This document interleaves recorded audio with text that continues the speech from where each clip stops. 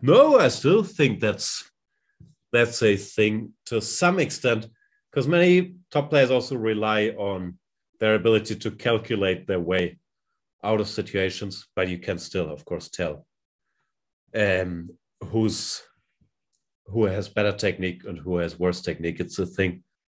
I mean, for example, the first match uh, uh, Magnus won against Anand. So you're saying Vishy is bad at end games? I'm not saying he's bad in end games. I'm saying that Magnus was better in end games. I'm not sure if that was a chess thing. Obviously, Magnus is amazing at end games, but also Magnus is so relentless and so fit, and he just keeps putting pressure for six hours.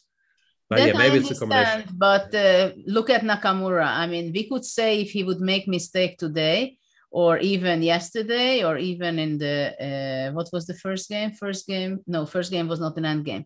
But the last two games, we could see uh, game two and three that he could make a mistake, and we would just say that, well, okay, no surprise in the four, fourth hour, he made a mistake, Yeah. or because after the opening he was so damaged psychologically that he couldn't get over it, right?